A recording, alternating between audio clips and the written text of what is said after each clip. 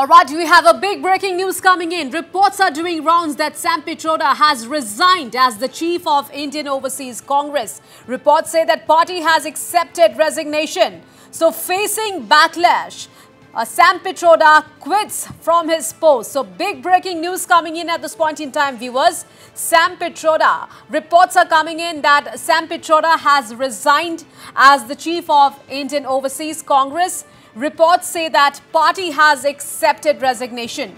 So facing backlash after making racist comment, Sam Pitroda quits from his post. So Sam Pitroda quits as uh, Congress Overseas uh, Chief. Big breaking news coming in at this point in time after making a racist comment. Well, reports are doing rounds that Sam Pitroda has resigned as the Chief of Indian Overseas Congress. Reports say that party has accepted resignation. So facing backlash, Sam Pitroda quits from his post. And the development is confirmed now. Congress leader Jairam Ramesh has tweeted that the Congress president has accepted his resignation. So it's confirmed now. Sam Pitroda has resigned from his post. Congress leader Jairam Ramesh has tweeted that Congress president has accepted his resignation.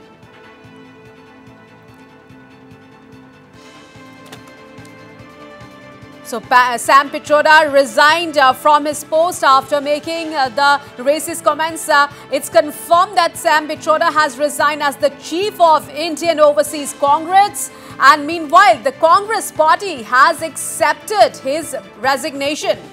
So big development coming in, viewers.